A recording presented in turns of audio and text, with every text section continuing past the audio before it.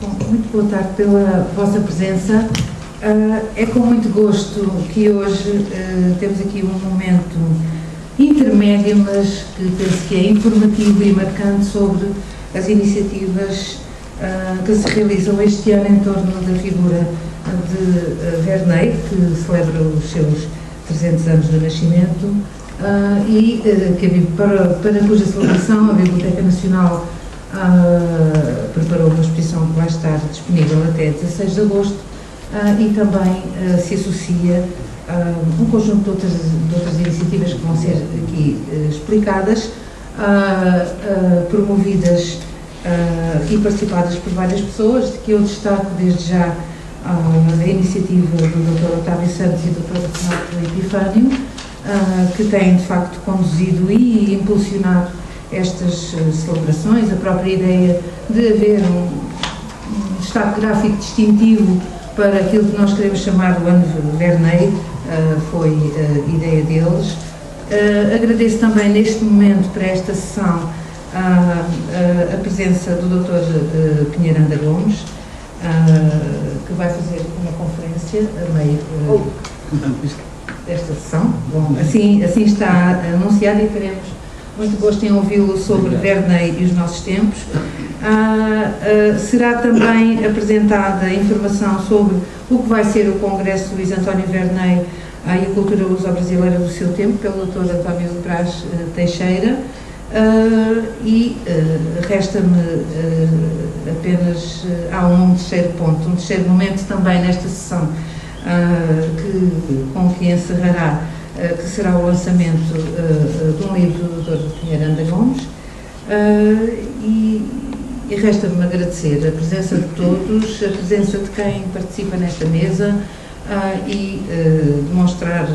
o apreço que a Biblioteca Nacional tem por não ser uma iniciativa isolada, pontual, mas a agregação de uma série de vontades, de uma série de colaborações, algumas bastante intensivas, como vai ser a realização do Congresso, uh, agradecer a todos, agradecer a oportunidade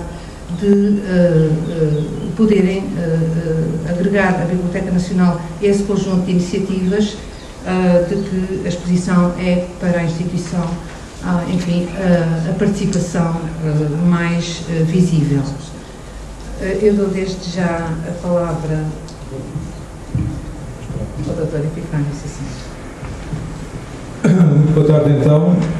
Gostaria antes de mais agradecer à Biblioteca Nacional por nos ter acolhido,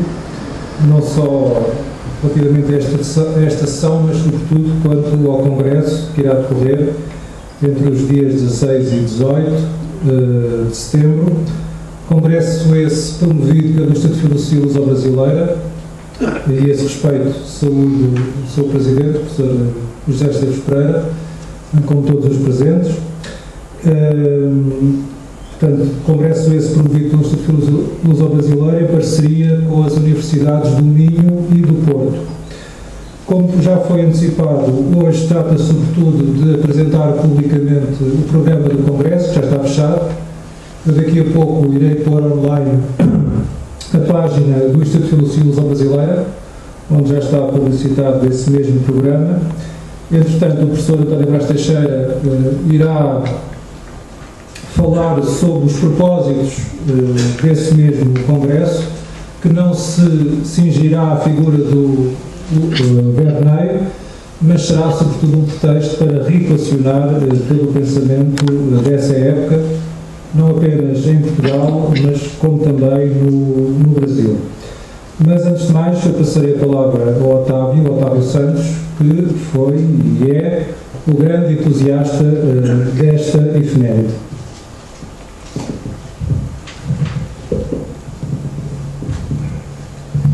Obrigado.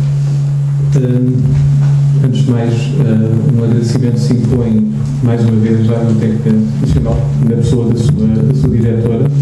que não tem que nos agradecer, nós sim é que agradecemos,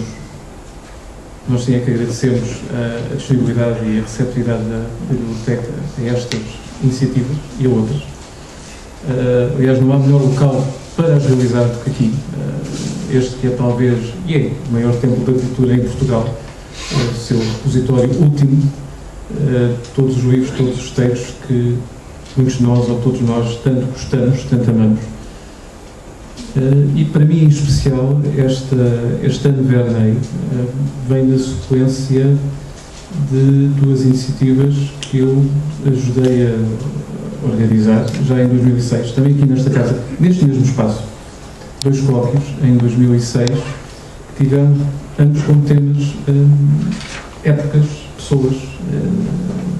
do século XVIII. Foram esses colóquios, um evocativo dos 250 anos então da, da Arcádia, da formação da Arcádia Lusitana, e um outro intitulado Cinco Livros de 1756 porque nesse ano deu-se a curiosíssima coincidência de terem sido publicados livros ou textos, de uma forma geral, de autores nacionais e estrangeiros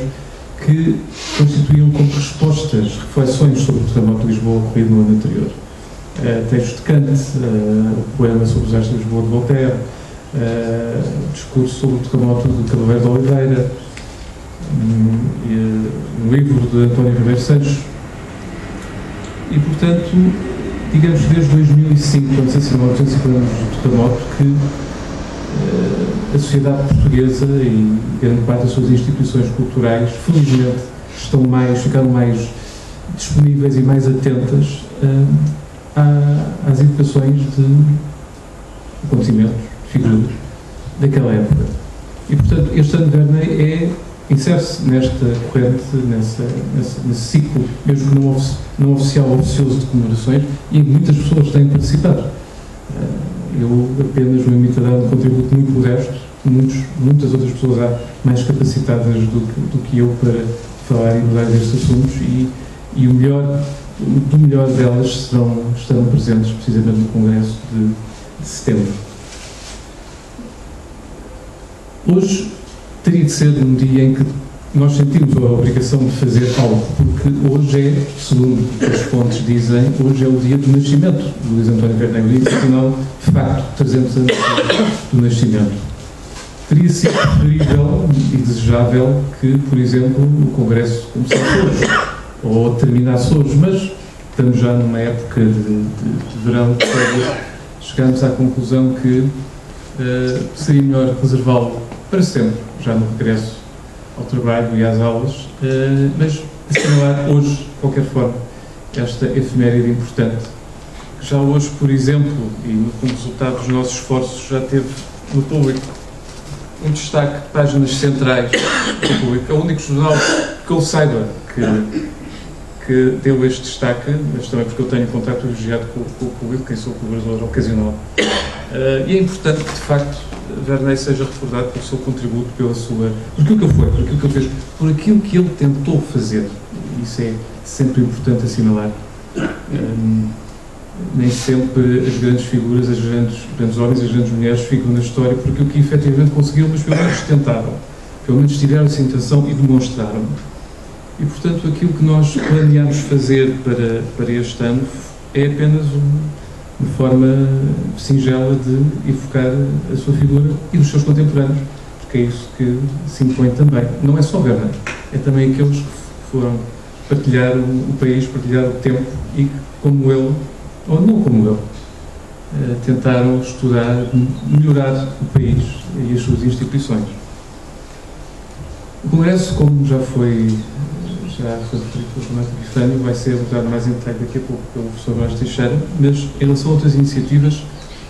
hum, há iniciativas que já estão mais ou menos assentes, outras ainda estão na fase de, planeamento ou de contacto, mas o que é que podemos já adiantar? Hum, no, no Porto, em dezembro, o dia ainda não está confirmado, mas no Porto, em dezembro, será feito um colóquio um dia, também no mesmo âmbito, Congresso, e focando a figura de Luís António Werneck na sua época, que tem como principais dinamizadores pessoas Ana Lúcia Curado e Manuel Curado, um, que foram os organizadores e os tradutores de um livro também fundamental, Cartas Italianas de Werneck, uh, cuja leitura eu recomendo vivamente a quem não, a quem não conheça. Um, muito importante também, uh, porque esse foi um fator distinguiu absolutamente uh, século XVIII português, a música terá um papel fundamental. Já iniciámos contactos para uh, que espetáculos, concertos que vão sendo feitos, aliás, não a serem feitos, eles não serão por causa especificamente do Van Verney, mas já existem, infelizmente, agrupamentos musicais, orquestras, outros grupos de menor dimensão, que se dedicam à música do século XVIII, à sua, à sua produção, à sua, à sua gravação, e, portanto, já iniciamos contactos para que concertos, venham a ser feitos concertos de propósito do cinema de Verney, mas associando outros já programados um, para, e que, e, que, sejam inseridos nesse âmbito, nomeadamente com os músicos de Tejo, uh, contactos também já feitos com a Fundação Gulbenkian, a Orquestra e o Coro Gulbenkian, e também a própria Biblioteca Nacional, que o Serviço de Música, contactos feitos também com o Movimento Patrimonial para a Música Portuguesa, porque há a ideia de eventualmente prolongar uh, o ciclo de música na biblioteca com outros concertos e autores e obras desse tempo. A outro nível, um, muito importante também, é, no fundo é isto, que é a base de tudo, são os livros. A edição de obras do Luís António Vernei não tem sido uh, muito consistente e regular, não só nos últimos anos, talvez nas últimas décadas. Uh, maior destaque, como deve ser do vosso conhecimento, ao verdadeiro método de estudar a edição, do verdadeiro método de estudar feita pela Sara Costa, que, como todos devem saber, livraria editora está a atravessar atualmente alguns problemas. No entanto, há, supomos que ainda existem exemplares que, pelo menos os contactos que já iniciamos e vamos, vamos continuar, no sentido de serem eh, disponibilizados, divulgados, porque é sempre uma fonte inigualável de conhecimento e de contacto com aquela que é a obra mais conhecida de Luís António Vernei. Há também, claro, como já mostrei, este, esta edição das cartas italianas do Luís António Vernei e muito em especial, são edições muito recentes e com grande significado, as edições feitas pela empresa da Universidade de Coimbra, da Lógica e da Metafísica, com a tradução do professor Amélia Puxico, um dos maiores especialistas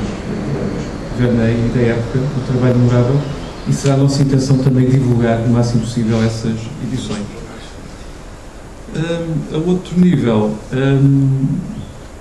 convém destacar, dar todo